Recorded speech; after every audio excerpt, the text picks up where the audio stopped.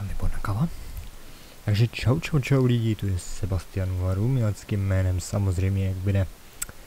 A já vás vítám u takového, možná i relaxačního videa, netypického, to především to musím zmínit, protože je takové celkem netradiční, jelikož jsem ještě nic podobného vlastně na kanálu nevydával, ale situace si to vyžaduje. E, konkrétně tím způsobem, že vlastně už je únor, vlastně začátek února už byl, konkrétně máme kolik, tři dny vlastně za sebou z února.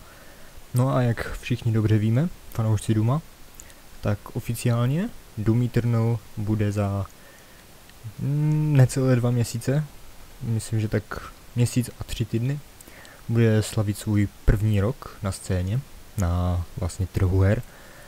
A s tím se pojí právě to, e, co vlastně vidíte jako obrazek, prostě, které tady je, Year One Pass. Co to vlastně je, tak pro ty, kteří se o to moc nezajímají, hm, tak pro ty asi tohle video moc nebude. Pro nedoumaře, nebo naopak, pokud vlastně byste se spíš chtěli dozvědět, co vlastně v Doomu e, v DLCčkách je, protože si ho nechcete kupovat, protože ano, kreknout se nedá, tak e, vlastně jednička vyšla před zhruba třemi měsíci, mám takový dojem, a teďkom vlastně, jelikož za dva měsíce právě bude jeden rok Duma, tak to znamená, že vlastně ten Year One Pass za chvíli, za ty dva měsíce bude končit. Tím pádem uh, vlastně v tom One Passu byly přislíbeny dvě, obě dvě DLCčka Asian Gods 1, který vyšel před těma třema měsícema a Asian Gods 2, o které právě dneska budeme hovořit, protože zatím ještě nemá ani trailer, nemá ani teaser na trailer, zatím nevíme prakticky skoro nic, až na to, co Hugo Martin prozradil na svých streamech, jelikož každý týden jakoby streamuje svoje ty, svoje průchody Doomem Eternal základní hrou.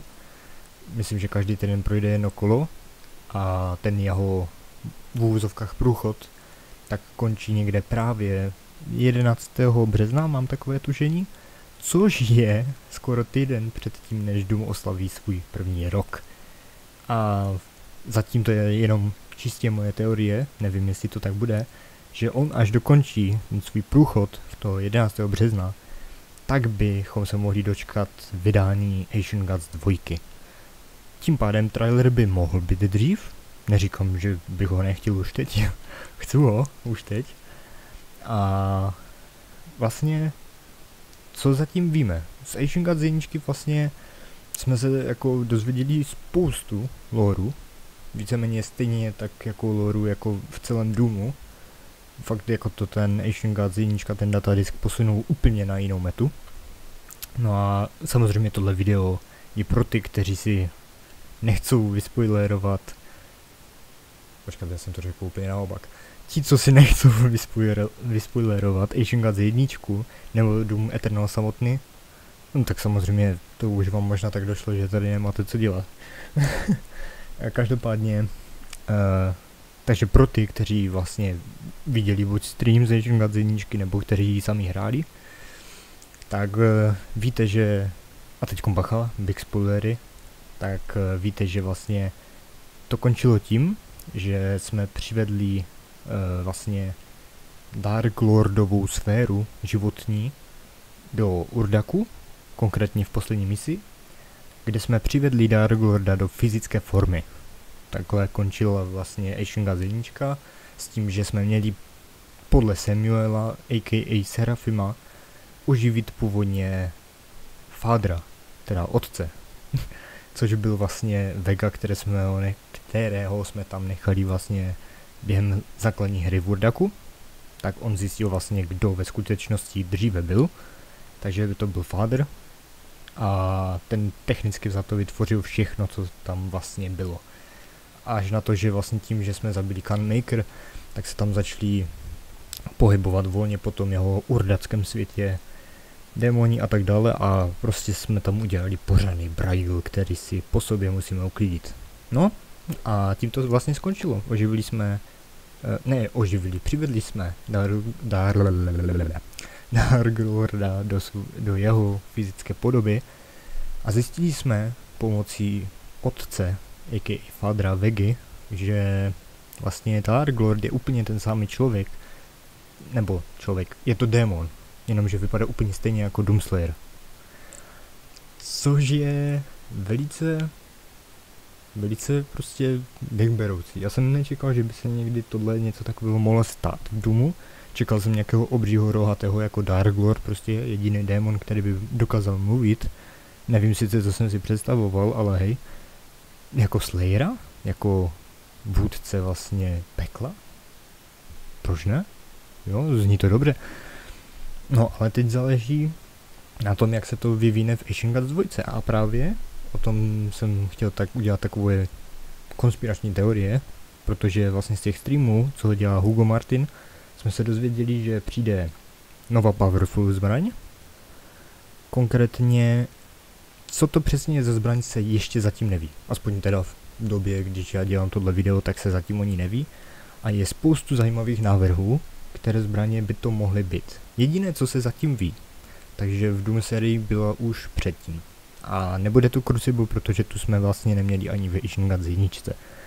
Možná vlastně to může být Crucible, kdo ví, že by si pro ní jako potom zpětně ještě došel, jenomže o tom spíš pochybuju, že by se tam objevil, protože vlastně, jestli to má být nová v úzovozovkách, lomeno stará zbraň, tak Crucible to 100% není, protože vlastně to tam je v Doomu Eternal čerstvě, dalo by se tak říct, nikdy předtím tam Crucible Roxford nebyl, nebo aspoň jsme ho nepoužívali, ale spíš mám takovou teorii, nebo hodně lidí si spíš myslí, že teď to bude bolet, uh, ta zbraň má být z Doomu 3. A já prosím ty vole, ať to není z Doomu 3. Protože ty vole Doom 3 lore spojovat s ostatníma Doom hrama, mm, nevím, jestli bych do toho šel. Jako takhle, jenom za použití aka Powerful zbraně, zatím neznámé, což by měla být Soulcube, která ano, v Doomu 2016 byla, i v Eternalu vlastně byla, ale pouze jako easter egg, že jste s ní nemohli manipulovat, ale byla tam vidět, je to možné. Mo- mohli by to udělat, protože vlastně ano, dřív v Doom hrách byla, ale jako, že by to byla powerful zbraň, nevím, neřekl bych, že by to byla přímo zbraň. Za to, co ale, jako to, tohle si myslí většina, že by to mohla být ta Soul, Soul Cube z toho Doom 3, Doom 3 univerza, nebo podobná vlastně, co byla potom myslím v datadisku, ale to už nebyla kostka, to bylo nějaké srdce, ale fungovalo to vlastně na stejný princip. Tak eh, další takové teorie, co by to mohla být za zbraň, jsou už spíš takové menší, jakože málo lidí si myslí, že by to tam bylo, ale jsou spíš pro mě osobně přijatelnější než ta Soulcube.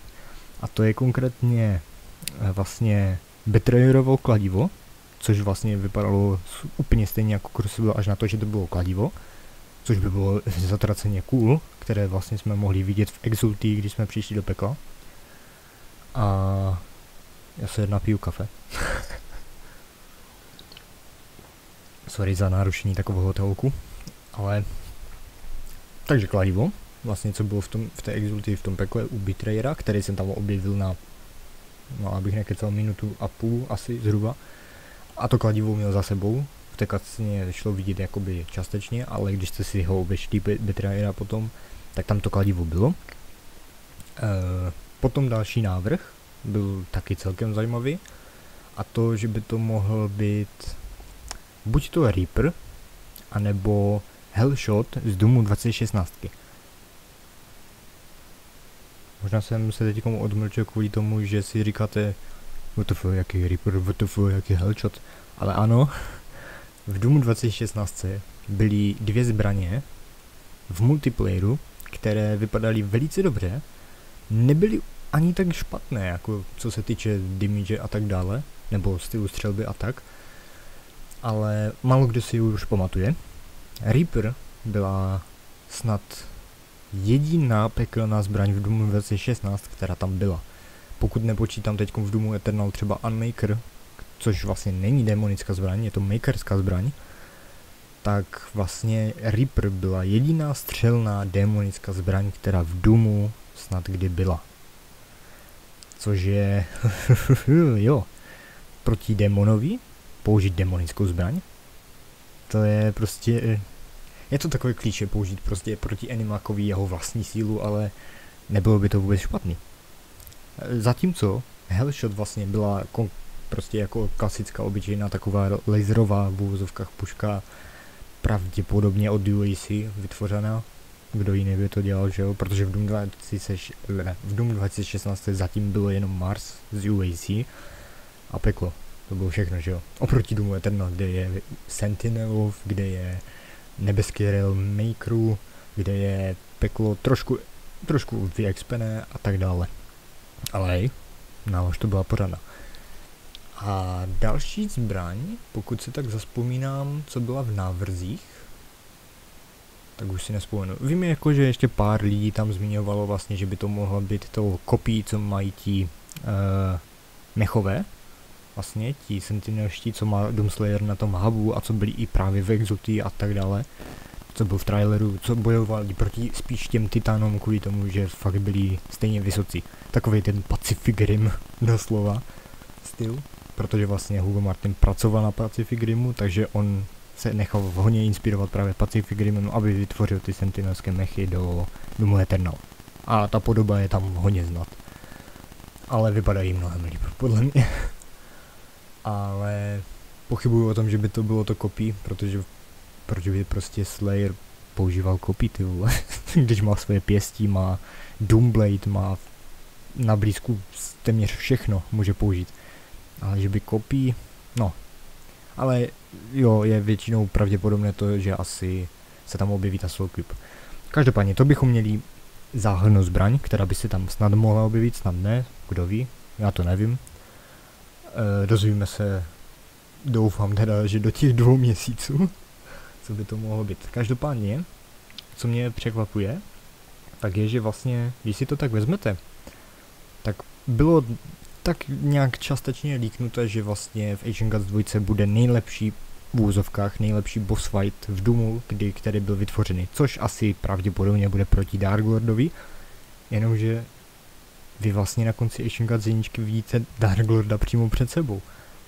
Jestli jako potom zdrhne někde ty vole na další tři kola prostě, nebo, před, nebo ho budete nánit stejně jako Hellpriesty, že by Darkwood ty vole byl takhle zbavilej, že by zdrhnul. Jako sice je, byl nahý, takže by se asi potřeboval oblíct, ale ne, fakt nevím. Údajně tam má být nejlepší boss fight a upřímně Serafim na obtížnost Ultra Violence, což je ta třetí, je těsně před Nightmarem, tak mi dal zabrat jak svíja. Jako to vám fakt můžu říct, měl čtyři fáze, což vlastně skoro žádný, jo vlastně takhle, měl čtyři fáze, ale jakože fakt se tomu dalo říkat fáze, ne třeba jako u Maker, kde jste do ní vysypali uh, zásobník vlastně Lokon Burstu z raketometu a pak jste jí jenom dali Blood Punch a to byla celá jedna fáze. Jasně, těchhle měla sedm nebo šest, myslím, zatímco Serafim, tento měl trošku horší. Ten tam měl ty spirity a všechno. Takže, ano, teď jsem zmínil Spirita, nového Anima Kazation Gaz spíš nového, novo starého opět.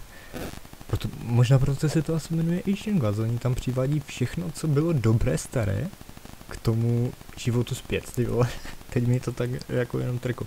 No každopádně Spirit, neboli vlastně duchové Summoneru z Doomu 2016, tak se tam objevili, ale jenom pouze jako buffovací démoni, když to tak řekneme. Prostě démon, který posedne druhého demona a předá mu svoji sílu tím, že prostě ten demon je potom rychlejší, je silnější, vydrží toho víc a všechno. A jsou to fakt svině. A vlastně na Spiritat působí pouze jediná zbraň, pouze s jedním modem ze dvou.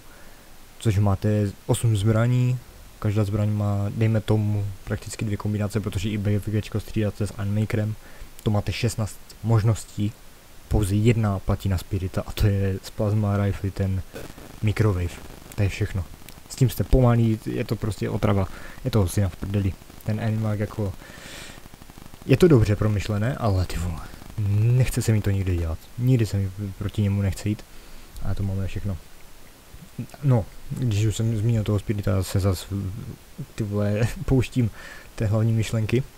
Takže vlastně v Asian Gods 2 by měly být i další tři, konkrétně nový animaci. Myslím, že tři, říkali, plus minus tři. Což je velice zajímavé, protože v Asian Gods jedničce, když se to tak vezme, byly taky tři nový. Byl tam Spirit, byl tam uh, Bloodmaker, a.k.a. Blood Angel, protože já mu říkám Blood Angel, zní to víc metal. A třetí byl neviditelný vypleš. Čtyři tam byli. Ještě ta tureta s tím okem, na tu jsem zapomněl malem. Ta tureta s tím okem tam ještě byla, takže čtyři animaci víceméně. Pokud nepočítám pokud nepočítám boss fighty, protože Serafim ten prostě toho si father, pardon, jsem bouchnul do mikráku, toho si father vlastně vzal k sobě, že vlastně Serafim byl jeho služebník, takže ho technicky za to zachránil před Slayerem, abychom ho úplně nezabili, takže Serafim přežil, ale co se s ním stalo, nebo stane teprve, to ještě nevíme, ale víme, že prostě už Serafim je maker, který prostě nějak nesouhlasil s tím, abychom přivedli Dark Lorda zpět k životu.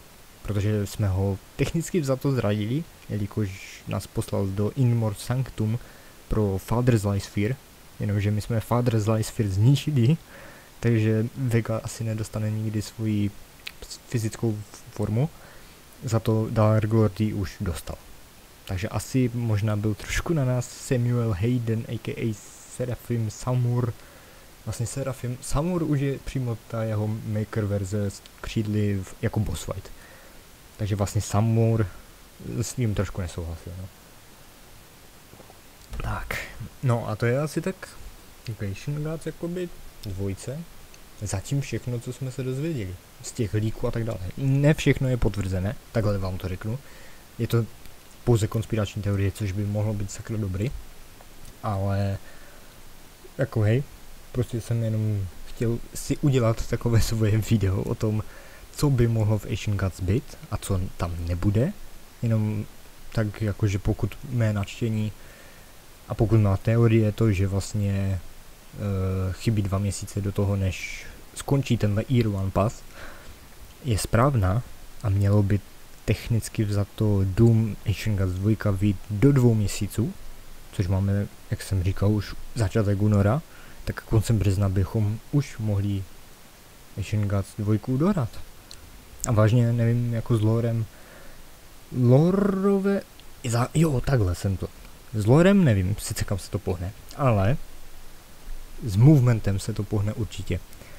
A to je vlastně poslední leak, který jsem zapomněl zmínit, takže vlastně, pokud si vzpomínáte v Doomu Eternal v základní hře na misi Cultist Base, kde jste museli odevírat ty dveře pomocí že jste skočili, toto středili tlačítka, tím se vám otevřeli dveře, vy jste prodešovali, chytli se stěny a vylezli, tak tady tenhle systém odevírání dveří nebo dostat se někam bude v Asian Gods 2 komplikovanější, protože se tam přidá prý údajně midhook platforming. Takže vy vlastně, jak máte dvojhlavňovku s tím midhookem, tak budete ji využívat nejenom k tomu, abyste se přidali k demonovi a ustřelili mu hlavu, ale i kvůli tomu, abyste se někam vůbec dostali. nevím, jak velké ty mapy budou, a ne, ani nevím, kde vlastně ty mapy budou. To prostě skončili jsme v Urdaku, nebo konkrétně v Hold, a odtamtud, jestli se vrátíme do pekla, jestli půjdeme do Sentinelova, nikdo neví fakt, já jako počítám s tím, že do pekla se vrátíme, nebo že bychom se vrátili na zemi, protože vlastně v Asian Gods 1 jsme byli na zemi pouze jenom kvůli tomu, abychom vyzvedli Serafima, který se stejně teleportoval na Ark Carrier, na ten křížník, který sloužil jako hub. A od tamtud, jak už prostě dostal svůj Serafim formu, tak se dostal na Inmon Sanctum a pak rovnou do Urdaku, takže se technicky za to vrátil domů. Zatímco Slayer...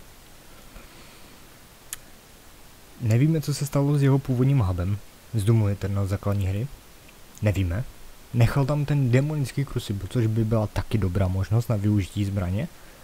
Jako, protože o svůj v úvozovkách původní krucibil přišel při souboji s Icon of Sinem, tam ho prostě zlomil zase a nechal ho tak. Prostě už ho nevytvářel znovu. Zatímco ten demonický krucibil furt má v sobě energii a pohaní ten hub. A zřejmě bude mít dost energie na to, aby mohl fungovat jako krucibil jako takový, jako je ten meč vlastně. Takže jo, to bych taky ještě bral jako zbraň. Ale ne Soul Cube z Duma 3, nespojovat lore s Doomem 3, ty vole. Nakonec zjistíme, že vlastně ten úplný největší zaporák Doom Univerza bude hlavní hrdina Doomu 3. ten Dark Lord, že je ten typek z Dooma 3 bez tak. Jo, toho bych si rád podal, protože mi zrujnoval Doom sérii. Ne, jako zrujnoval. Jako hra je to OK, ale prostě...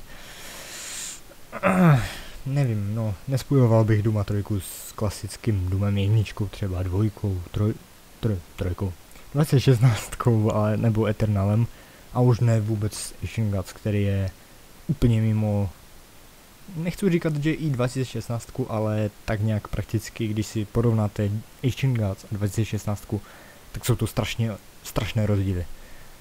Jo, jak v obtížnosti, tak vlastně v těch demonech a všechno, ne, ne v demonech, takhle řekl jsem to blbě, ale prostě, že tam už máte prostě ty bloodmakery jako zaporaky, zatímco v Doomu 2016 jste technicky za to ještě ani o makerech nevěděli pořádně. Ne, nevěděli pořádně, nevěděli jste o nich vůbec když jste hráli Doom 2016. Nevím, jestli tam byly nějaké narážky, ale to je taky celkem zajímavý, že vlastně v Doom 2016 tak Olivia Pierce, vlastně tu hlavní záporačku Doom 2016, ze které se nakonec stal Spider Mastermind, tak ji překecal do toho, co dělala, aby odevřela bránu do pekla a tak dále, nějaký demonic voice. A ten demonic voice je strašně podobný hlasem právě Dark Lordovi. Takže je možné, že už v té době v Doomu 2016 byl Dark Lord, avšak ne jako ve své fyzické formě, i když ona se dívala někam v úvozovkách do blba, protože údajně Dark Lord svoji fyzickou formu neměl přes více jak tisícovky let. Takže nikdo nevěděl vlastně do té doby, jak vypadá, dokud vy jste ho nepřivedli do té jeho fyzické formy. Stejně tak to je asi i s Fadrem, protože vlastně, co se s ním stalo na začátku, než se teda stal Vegou, na začátku zrodu Vegy, co se vlastně mu stalo, nevíme. Mě tady vyskakuje tyhle spoříš obrazovky už. To znamená, že kecal moc dlouho, no a 22 minut zhruba. tak vlastně nevíme, jak se z Fadra stal Vega. Jak, jak se vrátil zpátky, to už víme. Jenomže nikdo neví, jak vypadá Fadr. To ani v kodexu není, tam prostě Fadr je jako obrys bílé postavy a Dark Lord naopak tam je spíš vyobrazený jako takový válečník s krusiblem.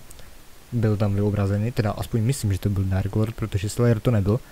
Vzhledem k tomu, že nevím, jestli Slayer se setkal s Dark Lordem nebo uh, vlastně s Fadrem někdy předtím, než se to odehrálo jako ta Doom 2016, Doom 1, Doom, toto pochybuju o tom.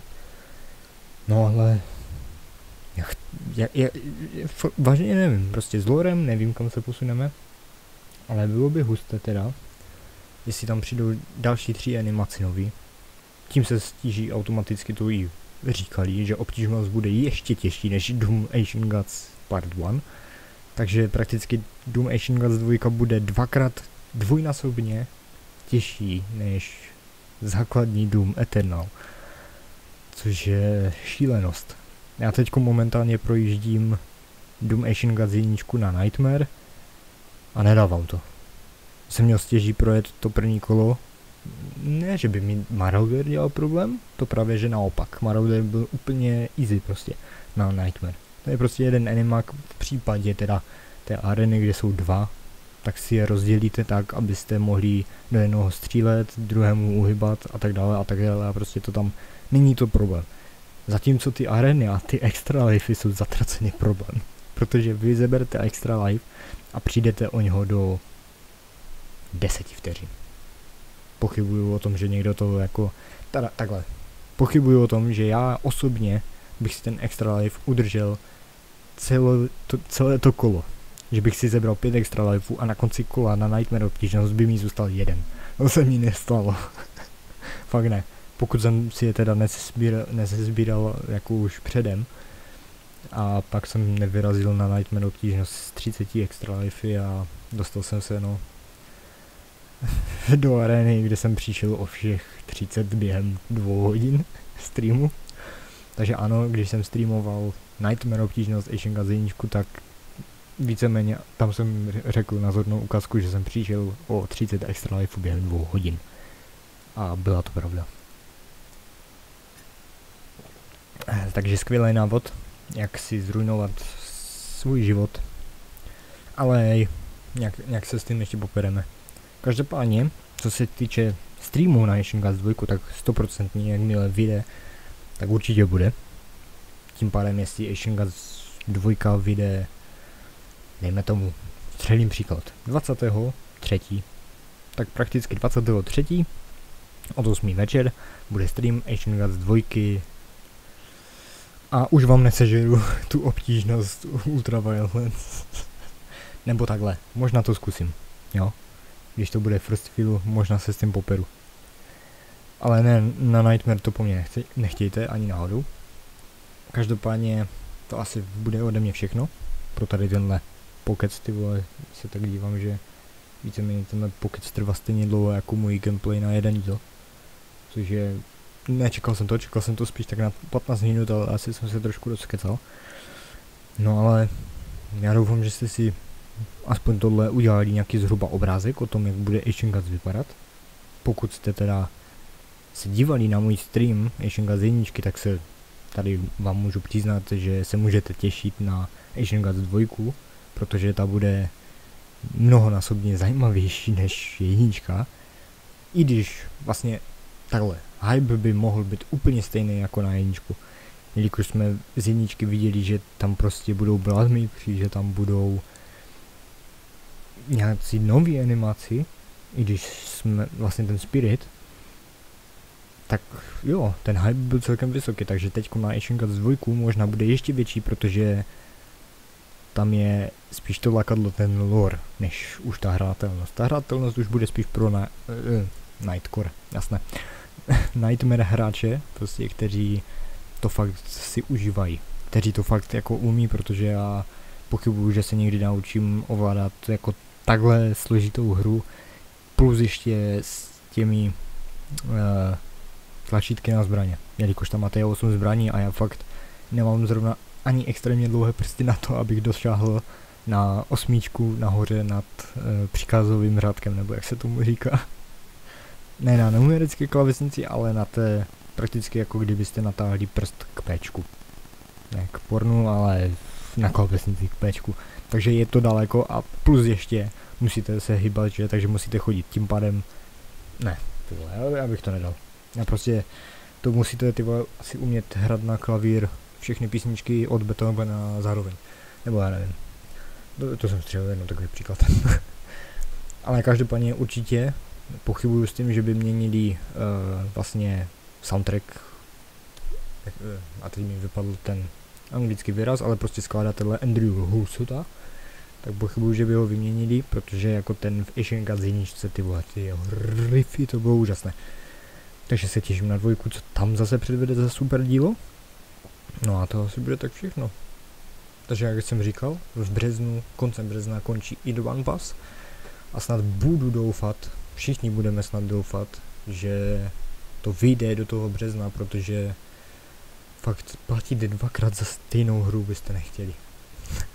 pokud nejste teda, pokud se vám to nestane omylem, tak jako, že jo, prostě ale já pochybuju o tom, že by i software udělal něco takového, že by zrušil prostě Ear One Pass, nebo teda, že by Ear One Pass skončil a že by potom ještě chtěl prachy za ten Asian Gods 2, protože tím byste vlastně, tím by nás ojebali celkem dost, co? Když vlastně jsme si připlaceli o kolik o, a abych nekecal 700 navíc za první a druhé DLCčko. A když už to bylo přislíbené, tak by za to nemohli přece ty vole to chtít ještě navíc prachy, to asi pochybuju, to, je, to by jim možná jakoby soudně neprošlo a oni to moc dobře ví. Takže já myslím, že i když to nestihnou do toho března a vyjde to nevím, nedej bože v dubnu nebo v květnu, tak já myslím, že asi za to prachy chtít nebudou. Takže to asi bude všechno, no. Takže já doufám, že jste se ne, že něco nového naučili, ale že vám přišlo tohle konspirační video zajímavé. No a budu se na vás těšit na streamu, pokud teda dorazíte. A pokud vás jako ten format videa trošku jako nějak zajímal nebo takhle, jako nevím sice o čem bych mohl udělat příští takovýhle, neže podcast, ale možná jo. Ale prostě hej, možná se to zase někdy naskytne možnost. Uvidíme, zda se mé tvrzení v Asian Gods 2 potvrdí, zda nikoliv, zda datum vydání trefím, nevím. Dobrá tedy, tak to je ode mě všechno. Pokud se vám tyhle konspirační teorie líbily, tak zanechte určitě like, na dislikey se vyserte. Napište nějaký super koment nebo vaši vlastní teorii, co by se v Asian Gods 2 mohlo objevit. No a samozřejmě zanechte like, protože, uh, ano, jo, like zanechte, ale zanechte i odběr. A po případě si tam dejte ten, takový ten zvonek, víte co, já to většinou neříkám, ale dejte si tam ten zvonek, protože jestli to budu streamovat, tak o tom musíte vědět, že jo. Takže takhle. Tak jo, já se s vámi teda prozatím loučím a snad teda u nějakého toho streamu, gameplaye, podcastu, možná zatím. Nazdar.